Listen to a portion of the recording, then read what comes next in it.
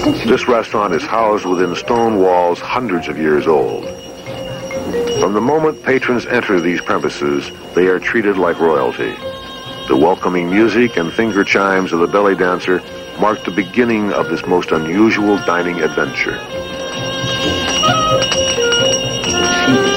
When the waiter makes his appearance carrying wine and the special dining implements, it is a sure sign our tourists will soon begin the ritual which brought them here.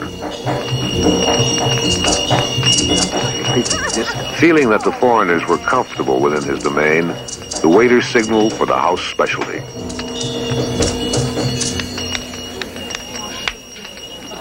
Good evening. Here's the good food that I want. As the monkey was brought down the hall and a toast to prosperity was made, the waiter presented the men with their tools of destruction. Good. Look at that little monkey. Why don't you touch it? I know it'll be great.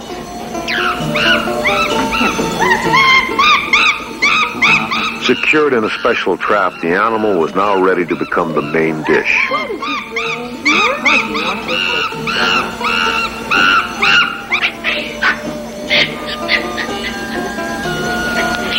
Following a few simple instructions, the men at the table were prepared for the kill. No, no, just use quick stroke. Just use quick stroke. Yes. Oh, my God. That's all I have. Ah. This.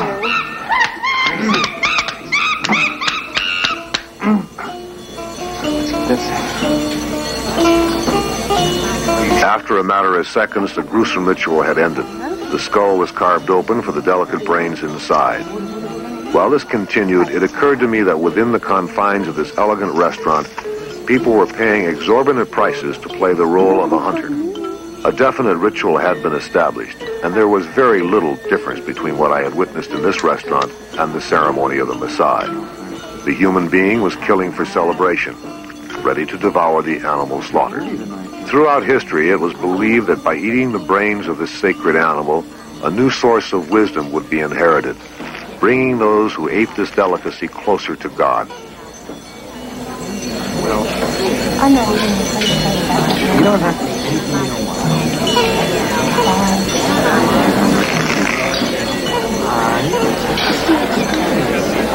Watching a living animal die before their eyes and then having to eat the lifeless remains caused amusing responses from each of the tourists. When I asked a man with a hearty appetite why he enjoyed the meal, he replied, If I can get closer to God by eating brains, why not?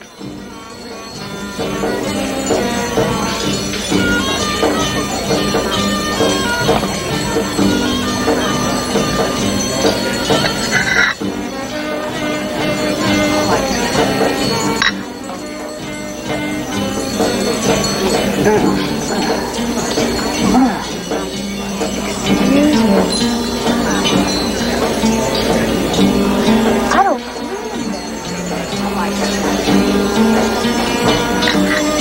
human reaction to death in this particular environment was highly instructive.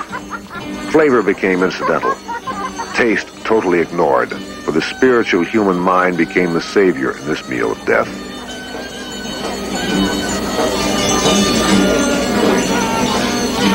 None of you are going to win, I want.